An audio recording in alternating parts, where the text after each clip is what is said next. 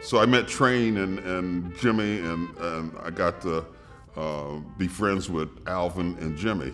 McCoy was kind of standoffish, you know, he was, uh, I, I didn't understand, but that's just the way he was because when he wasn't doing the music, he was really in constant meditation and, and or in prayer. So I got to meet Alvin and, and Train and, and all of them early on, you know, and uh, it, it was quite remarkable. And then my actual conversation, deep transforming conversation with Train was later on in DC, uh, some years later. Um, and uh, I remember after the gig, Rashied Ali was playing with him at that time. And uh, after the gig, they were playing at the Bohemian Caverns.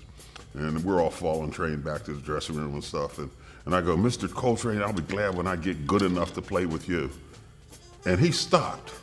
So the, everybody that was falling stopped. And he turned around and he said, What'd you say? I said, I'll be glad when I get good enough to play with you. He said, What do you play? I said, Drums.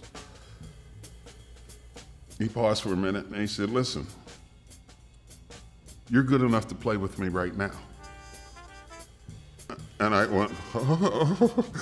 he said, No, listen, you are good enough to play with me right now. Don't ever play with anybody that thinks they're, that you're not good enough to play with them.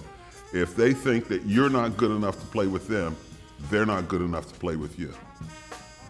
He said, Don't ever forget that. He said, Just be yourself and play. And, you know, uh, he paused for a moment. He said, "Oh no, we got we got a we're leaving tonight. Tonight was the last gig." Uh, so he said, "If we weren't leaving tonight, I would ask Mr. Ali for you to use his drums, and you and I would play in this club, just me and you, all night long." He said, "But we got to go to the next next city, so I, I can't do that. But if we ever get a chance," he said, "you and I are going to play." And we, ne we never got the chance, you know, but, but it stuck with me that he was like that. And when I saw him times after that, he was reading um,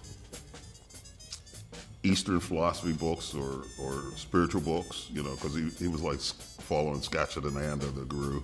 And uh, um, so there, there's this thing within this music that transcends what people call jazz there's a spiritual aspect to it that is just, and it was trained to me that kind of woke everybody up for real, you know, because he was able to, when, when he did A Love Supreme, A Love Supreme, think about that for a minute.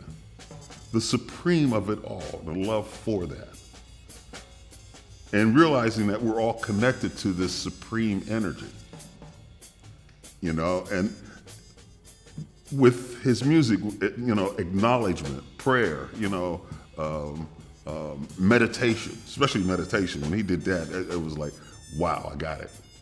I really started feeling the aspect of the um, metaphysical side of the music, you know, and I, I, I started really working on, on, on just doing that. There's a mathematical, uh, you know, it's kind of like quantum physics, really, when you think about the music. You know, like Train playing 64th notes and writing it down. That's the part that fascinates me. He was able to write that down.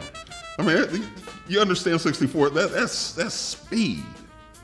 That's you know, and when you think about quantum physics and you think about the string theory and all that, it's all connected.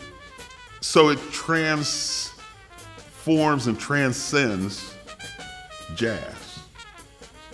It goes beyond that whole thing of what people want to call jazz. It goes beyond the whole thing of it being just music. It goes into the metaphysical realm of touching your soul.